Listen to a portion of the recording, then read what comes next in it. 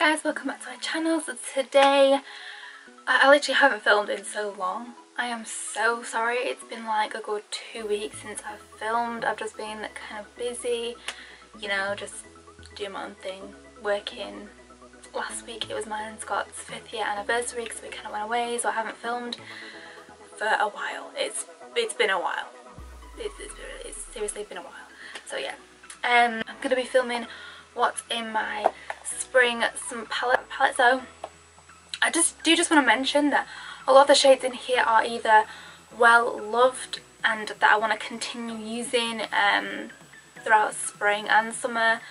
And they're like I feel like some of these in here are like my holy grails um, which is why they'll probably always be in like one of my palettes like whether it's spring, summer, autumn, winter I'll forever use them all year round and some of them I kind of just wanted to put in here because I haven't used them or I have used them but I haven't used them enough. I wanted to play around with some more colours and stuff like that. As you can see today I went a little bit mermaidy. I'm, I'm going to be filming a tutorial on this look which will be coming soon. Yeah, you can see that I'll be posting that sometime probably next week but yeah, I'll leave, I'll let you know on my Instagram so go ahead and head and follow me there so then you know when I'm posting videos, all that jazz. Yes. So I'm sorry this video is going to be so long. I am so sorry but you know I'll try and cut it down as much as I can. See. Okay so as you can see like this is my palette. The, yes, this is my baby.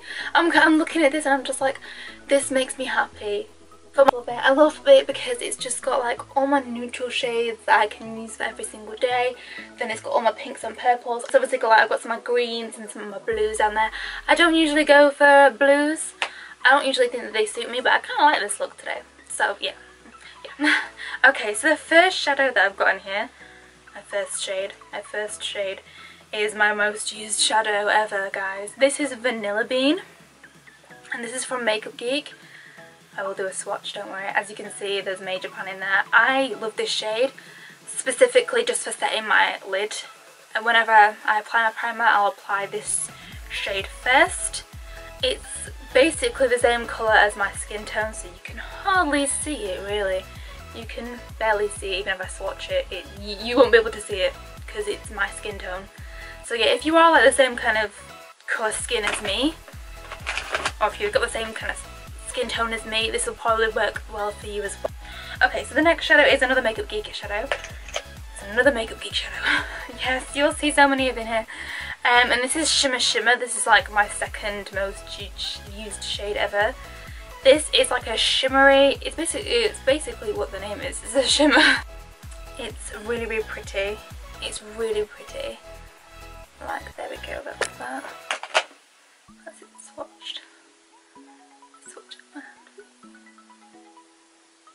As you can see, it's like a light champagne shimmery shade. The next shade is a MAC shadow and oh my god, this is my favourite, this is like one of my favourite inner corner and brow bone highlights ever. This is MAC Nylon.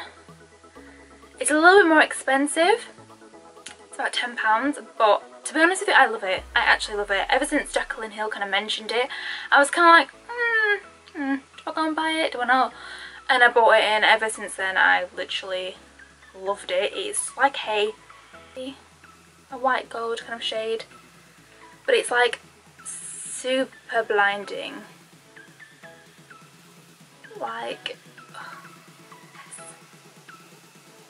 yes, yes, yes. I love it. I love it so much. It's just so, it just, I will wear this I'll wear this even if I'm hardly wearing any makeup.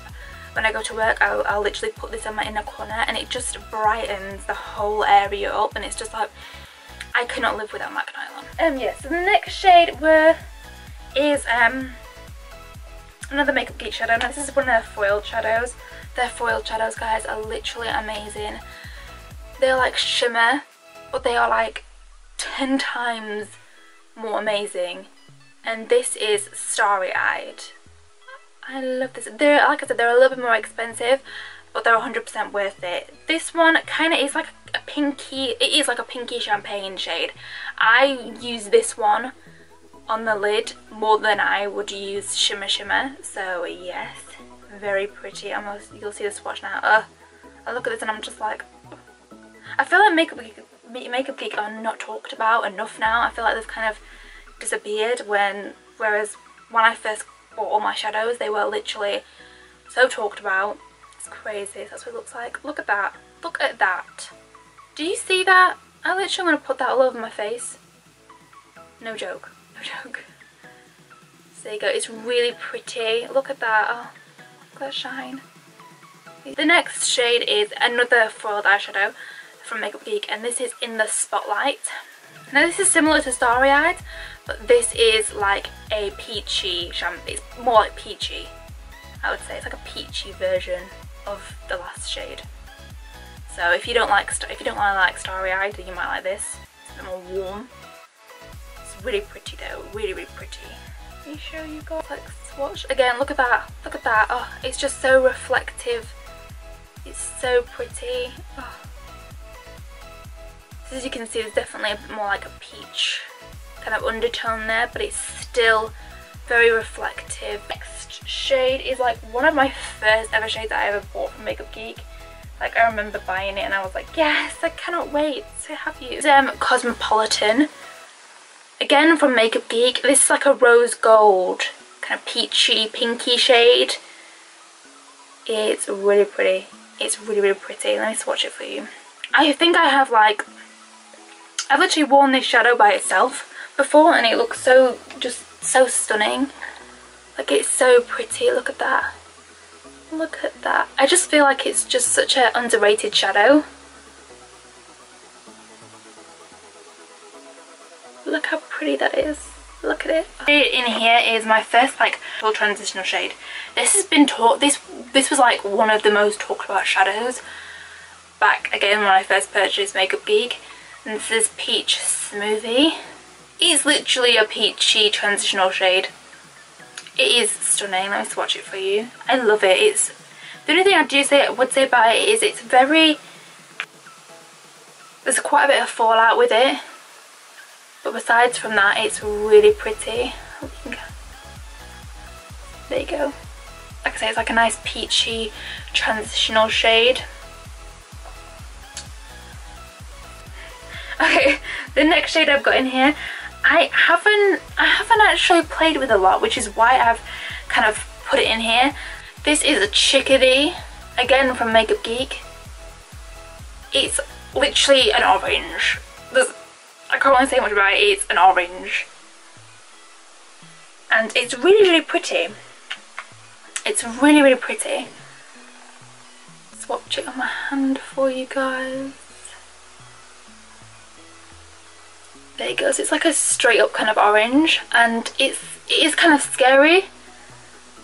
It's not scary but I just haven't had the courage to actually use it and I'm sitting here saying that and here I am with turquoise all over my eyes. The next shade is like literally one of my favourite gold shades in the whole entire universe. Um, it's another foiled shadow of course.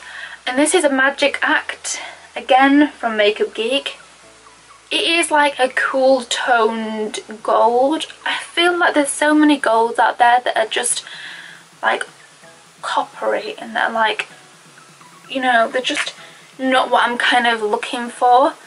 It's like a true gold, I would say, with obviously the foiled effect on top of it.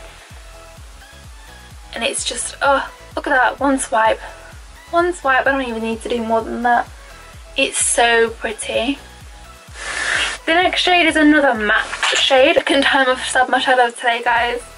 This is Frappe. Again from Makeup Geek, another Makeup Geek shadow. I'm so sorry, guys. So yeah, this is Frappe. And this is like another kind of... I'd say it's like an... It's like a medium warm toned brown. But yeah, that is Frappe. Very warm. I think it's just I think it'd just be perfect just to just to put in the crease. The next shade is like like another favourite. I'm pretty sure like Jaclyn Hill loves this. So many other, so many like beauty YouTubers love this shade and I can see why because it's just, it's just the best. It's one of the best shadows ever and I love it. I love it so much. If you're a warm tone lover, you're going to love this. This is Cocoa Bear, again from Makeup Geek. Now this is like a ready toned brown. Like when you swatch it, even when you pop it on the eye, it just, oh, oh it just looks amazing. It, is, it does apply so nicely on the eyes. It just looks so good if you put it on the outer crease and then just blend it in. It's just, oh, it's gorgeous. I love it so much. I love it. The last neutral shade from my little collection that I've got is, um, what is it? Oh, this is Mocha. This is again, this is from Makeup Geek again, and this is a dark brown. It's like a dark, deep brown, but it's neutral. It's not like um, a warm tone or a cool tone. It's like a neutral tone brown. I love it. Let me swatch it for you. Oh. So it's quite deep. So now we're heading into my pink collection. Yes, yes, we have the first shade is actually not a Makeup Geek shade, guys. This is Secrets from Colourpop. I used this in my Valentine's Day tutorial in my last video. I'll link it down below. This is such a pretty pink, guys. Like, I love doing pink looks, so like any kind of pink shadow, I'm like, yes, give it to me now. It's very light, so it's a perfect kind of like transitional shade just to start off your pink look. It's like a baby pink, that's literally what it is, a baby pink. I love it, I love it so much. It blends, I feel like Colourpop shadows are, you know, like, they're amazing, they're amazing. The next shadow is another, it's a, another Colourpop shadow, and this is called Soft Core.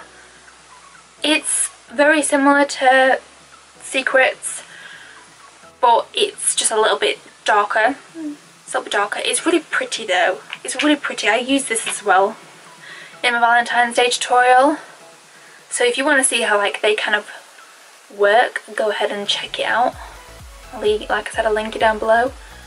It's really, really pretty. I would say that's like a soft, it's like a soft pink. I don't really know how else to describe it. I'm so bad at describing things, guys. It's just like a soft, rosy kind of pink. It's not, I wouldn't say it's too cool toned. I think it's got a little bit of like a hint of warmth in there my next pink, my next pink is another kind of like matte shade.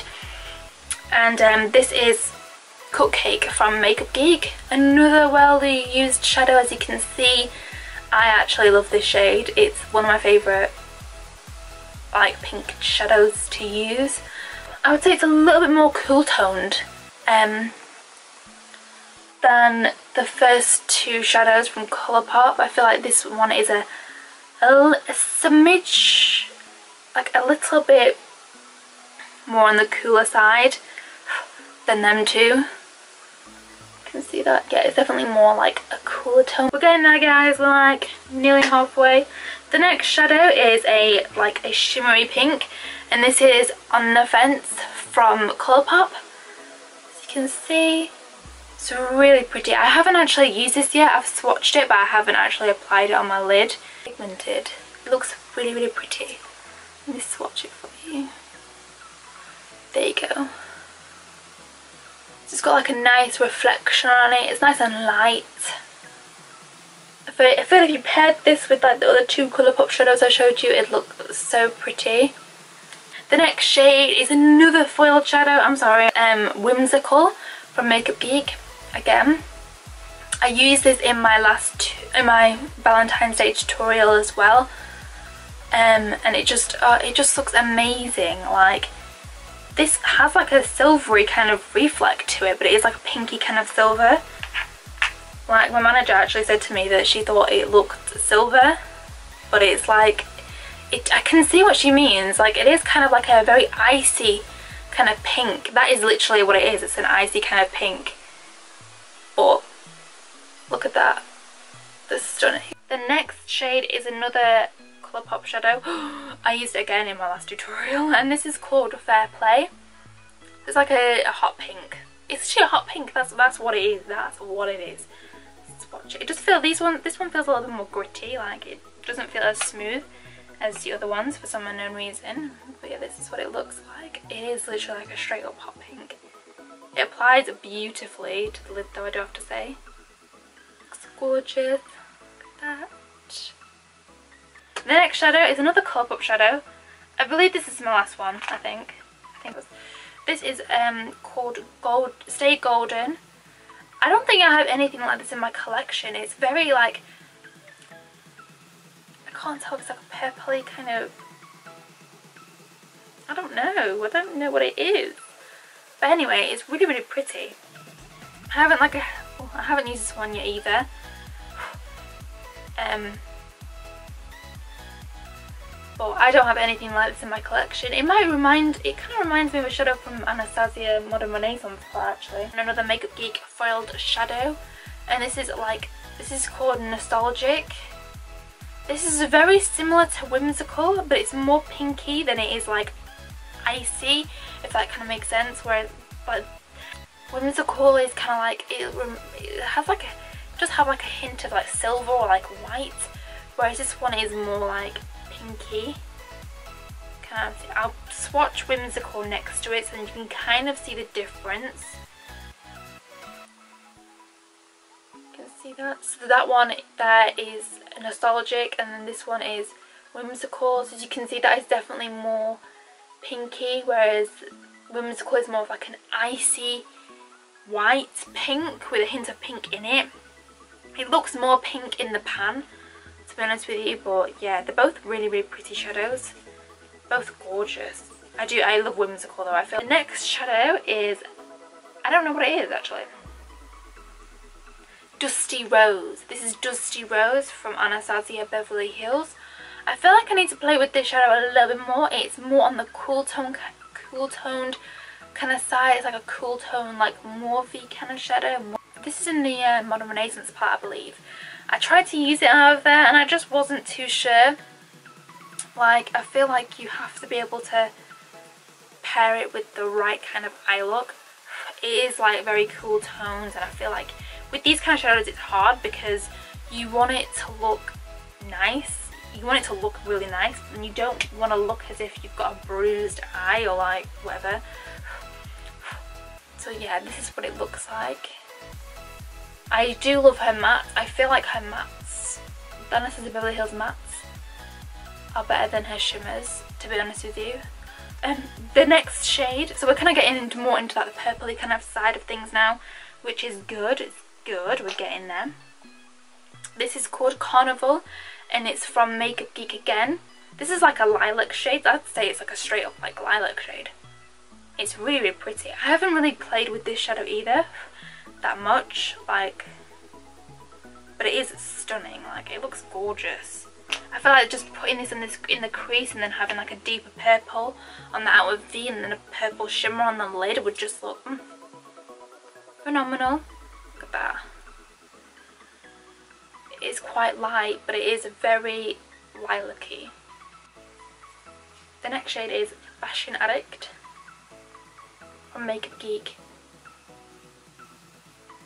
Again. I don't even know what this is. It's definitely like a purple. It's quite a bright kind of purple. Fashion Addict. It's like a deep mid-tone. No, it's like, like a mid-tone kind of purple. It's really pretty. The next shade is another Makeup Geek one and this is called Pillow Talk. It's like a purple, then it's got like silver, it's like silver reflex to it. I haven't seen anything like it. It's stunning. look at that. The next shadow is called Blacklight from Makeup Geek again. This is a duochrome shadow, so it's like a purple blue shift. It's really pretty. Like I said, I've got these with like greens and it just You could pair, probably pair it with like so many different colours. You could pair it with like green, purple, blues.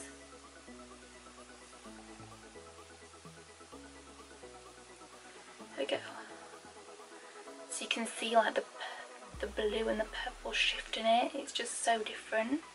Next shade is another foiled eyeshadow. Again from Makeup Geek. And this is called Daydreamer. This is definitely like a lilac purple, obviously with like it's got like silver again on top.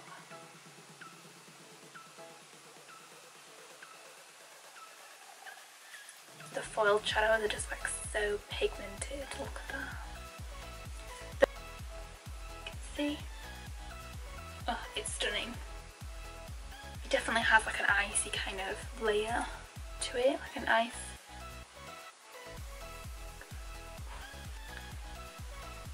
The next purple is like even deeper than Fashion Addict. This is Curfew again from Makeup Geek. Isn't it pretty? It's so pretty. I feel like this shade as well can just really help deepen up the outer portion of your eye. I haven't really played with this one too much to be honest with you. I really want to. It looks stunning. It's probably just like the perfect, perfect like outer crease shade. We're doing like a purple look. In this row, last purple from my palette, sorry, is called Motown. This is like even deeper and it kind of kind of like looks to me as if it's like a deep purple, almost like bluish kind of shade. It kind of looks blue. I feel like purples are so difficult to kind of get right. That to me looks like almost navy. Ooh. Okay, so on to the last row. Finally, we finally made it guys. We finally made it. The first shadow in my last row is a yellow. I kind of felt like I needed a yellow in here somewhere. I feel like yellow kind of just reminds me of like summertime. So yeah, this is called Lemon Drop. Again from Makeup Geek. I'm pretty sure this whole last row is Makeup Geek. I feel like you could probably still pair with this with greens and get away with it. Like I could probably do the same eye look today and then just put lemon drop all over the lid and I feel like it would just give it a bit something different. The next shade again is a foiled shadow but you guys are getting sick of it. I'm, I'm not even sorry. I'm not even sorry. This is called Fantasy and it is like it's like a like a bright green almost but it's stunning I just I look at this and I actually love it I'm pretty sure like one year I kind of used this on the lower lash line and I, you know what? If you're like scared of colour don't even be afraid to put it on your lower lash line. Like I feel like that is probably how I started off. Look at that. The reflect on it again is just stunning. And it is like like a bright green so it'll just look perfect for like spring summer. Look at that. Stunning. Stunning. But it is the next shade is another makeup geek one and this is a duochrome again. This is called typhoon. I'm pretty sure this is like a bluey green. Actually forget typhoon. It's really pretty. I don't even know what kind of green this is but it's definitely like a bluey green. It's almost like a seafoam kind of colour. The next shadow is actually one that I'm wearing on my in my crease today. This is this is like more seafoamy actually I would say. This is called Dragonfly. This is like a seafoam kind of green. I would say more than more than Typhoon. I don't even know what kind of green that is. I'm so bad. But yeah. I feel like when you swatch this, it's not that great. When you swatch it on your, your hand, like you'll see in a minute, I feel like it doesn't come off. Maybe it doesn't do too bad, it's not too bad actually. When I first swatched it, I kind of was like, um, I was like, okay, like where's, where's the pigmentation? I was like, it's not that bad, but it does look better on the eye when you blend it all out. Shade is another foiled shadow. It's the last foiled shadow guys, I'm sorry if you're sick of them. This is Pegasus and this is like this is like a blue it's like a bright blue and I look at this I think of the sea I think of like not obviously like you know like the sea like Brighton but you know like or Morecambe but it reminds me of like sea like in a different country obviously. Like the sky is just so bright and vibrant. I don't usually play with a lot of blue kind of colours but this is stunning me I really need to play with this shade somehow. Look at that. Oh isn't that gorgeous? Look at that. Stunning. The next shade which is nearly on my last shade guys. Nearly there. This is called Shark Bait. I've also got this on my eyes today. I've kind of put it on the outer part of my eye and blended it inwards it's really pretty but it's so pretty. It blends out beautifully as well. This this is the one that's swatched bad and looks awful when you swatch it but when you put it on the lid it, it's amazing. The last shade in my palette is called make it's called peacock. Again from makeup geek. This is like a deeper version of shark bait i would say. This is more this is more on the bluey kind of side but it is still quite kind of yeah it looks like a navy blue to me that's like nearly a navy blue look that's what it looks like in the pan anyway I don't know maybe it's just my lighting down here I can't exactly see properly but yeah, I haven't played with this shadow, so I thought I'd put it in there just so then I can have quite a few blues to kind of play with. But yeah, I'm excited. I'm excited because like I said, I don't want to use blues. So yeah, I think that is really pretty. Really pretty. for watching. Thank you so much for watching my video guys. Please like and subscribe and comment down below like always. Um, go check out my Instagram. I'll link everything down below as usual. And yeah, I will see you in my next video. Bye!